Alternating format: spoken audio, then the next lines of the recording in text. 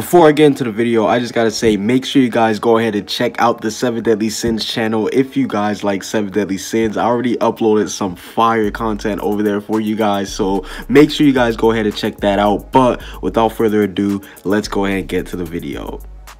So today I'll be doing a video discussing Natsu meets his brother. Now, unless you guys have been living underneath a rock, then you guys would know that Natsu has literally just met his brother. Yes, his new brother. I'm not talking about Zeref Dragneel. No, we know that Natsu and Zeref are brothers, but it has just been revealed to us that Natsu has a new brother named Ignia. Yes, he is the son of Igneel, and we also do know that he is the fire dragon god. So so Natsu is related to one badass character. Yes, Natsu has one badass brother. And to be honest, this revelation of Natsu's new brother is definitely going to be one of the biggest things for the series of Fairy Tail. And today, I'm going to be discussing why Natsu's encounter with his brother is probably going to be the best thing to ever happen to him since he met Lucy. Now, for starters, we do know that Natsu meeting Ignia for the first time did occur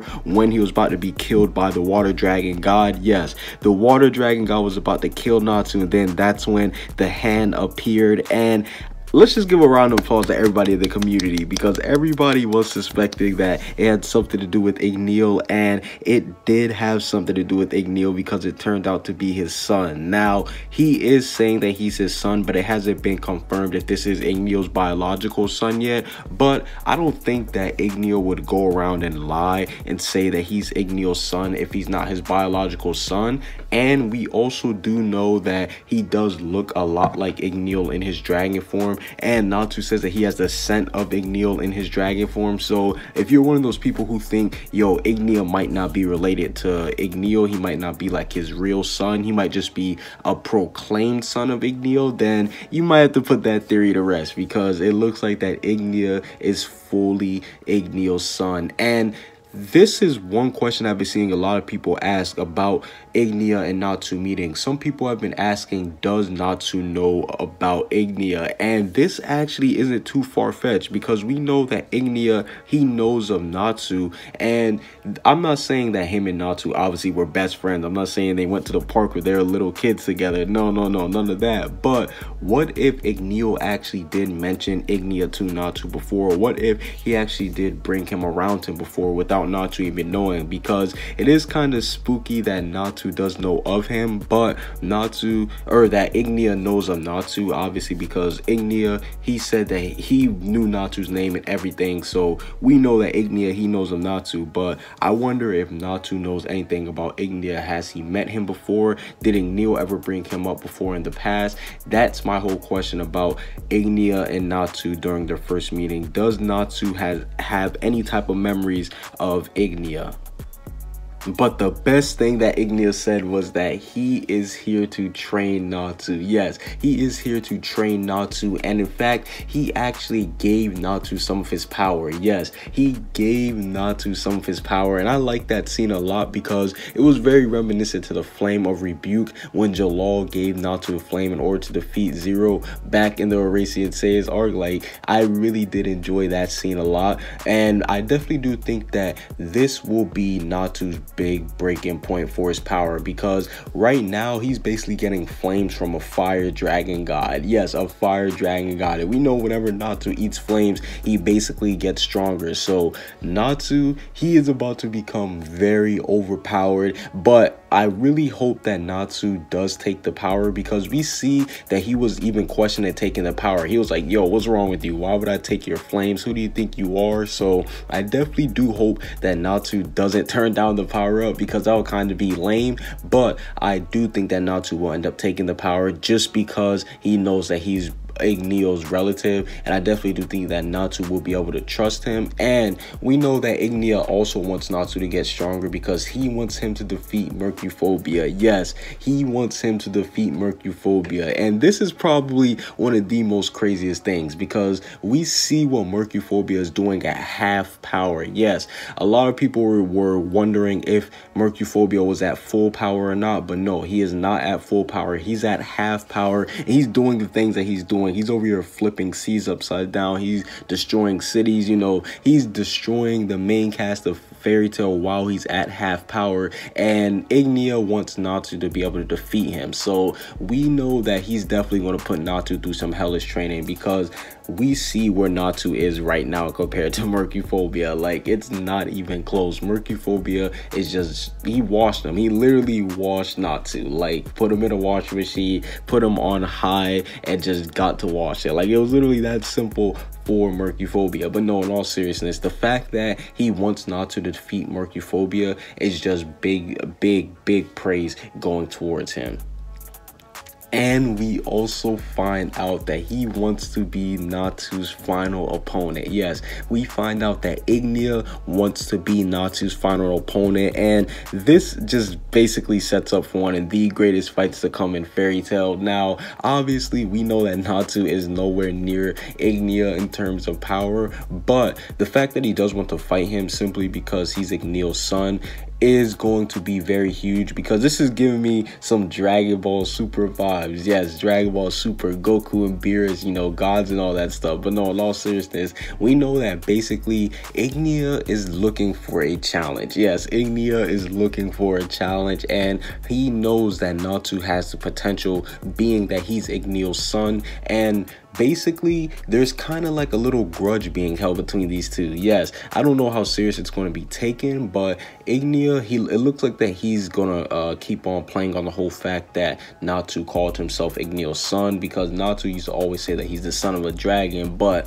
now that this is ignia's real son seemingly here it seems like that he's gonna keep on saying yo you can't be the son of ignia because we saw even when he was getting beat down by mercuphobia ignia was getting mad. He was like yo how dare you call yourself the son of Ignia. So I definitely do think that that will be a little grudge between those two. The fact that they both are gonna, if they're both fighting to be the number one child. Let's be honest, that's the main thing they're to be fighting over. They're fighting over to be daddy's boy. Yes, that and pause, pause though. But no, they are fighting over to be the number one son. But the cool thing is that we know that Ignia, he most likely will train Natsu. Yes, Natsu will have a new training arc simply because because Ignia, the gap in power is too huge, and Natsu and Ignia, they both know that. And Ignia, he says he wants Natsu to reach his full potential. So, what better way for Natsu to reach his full potential than to get trained by the fire dragon god? I mean, hell, he was already willing to give him some of his power, even though it was temporary. So, why wouldn't he be able to train him? And another reason why I think he should train him is because this will help with the fifth generation Dragon Slayers. Yes, this will help hugely with the fifth generation Dragon Slayers because we know that the fifth generation Dragon Slayers, they want to steal all of the dragon god's powers. Yes, they want to steal all of the dragon god's powers. And now that we know that Natsu's brother is a dragon god, this means that Natsu he has even more incentive incentive to fight the fifth generation dragon slayers, the dragon eaters. Yes, they go around and eat dragon souls to get powerful. So I definitely do think that now that we know that there's a full guild of them, Natsu, him getting this power up will help dearly just because the fifth generation dragon slayers it appears that they might be stronger than all the other type of dragon slayers that we've seen so far. Yes it looks like that the fifth generation dragon slayers are looking that strong. And i mean i don't really know if they're going to be stronger than the gods because they seem pretty confident when it comes to wanting to go track them down. Yes they were basically saying they were out there looking for mercuphobia like they wanted all the smoke when they came to him so i definitely do think that these guys they are strong and knowing that there's a full guild of them and we didn't even get to see the guild master of them. We only saw like little lackeys of them and they're pretty strong. They're on par with natsu gray Erza. So the fact that the fifth generation dragon slayers are going after the dragon gods and now that we know that natsu pretty much has a dragon god brother this would be a good time for him to get trained and last but not least, I definitely do think that Ignia, the number one thing that he can do for us is he can provide more information on the dragons in Ignia. And yes, yes, yes, this will be the greatest thing in Fairy Tail history because let's be honest, one of the biggest things that we need to see is the history of the dragons. Yes, we need to see the lore of the dragons. We need to see the time when it was nothing but just dragons running around because these guys are basically claimed to be like on par with gods. Like they're basically like, you know, they say dragons don't worship gods or look up to kings or nothing like that. So we definitely need to go back and see the time when Igneel ruled over the dragons. And what better perspective would it be to see it from than from Ignia? Yes, Igneel's son. We know that this guy basically looked up to Igneel and all that other stuff. And also want to say I want to see Ignia and Igneel's past because yo, just imagine all the crazy things that those two went through together and why wasn't he present for Natsu's backstory? But overall, that's basically it for this little video discussing Natsu meeting his brother. Natsu meeting his new brother Ignia for the first time was definitely crazy. It, to me personally, it was chapter of the year. And we're only, what, like a couple weeks into 2019. So there's a lot, a lot, a lot of good things that come from Fairy Tail. And the fact that he was introduced in this fashion, I definitely do think that it will help the series of Fairy Tail to grow to new heights. So yeah, leave a like like if you guys do love Ignia. Comment what you guys think down below. Subscribe if you haven't. Make sure you guys turn on notifications.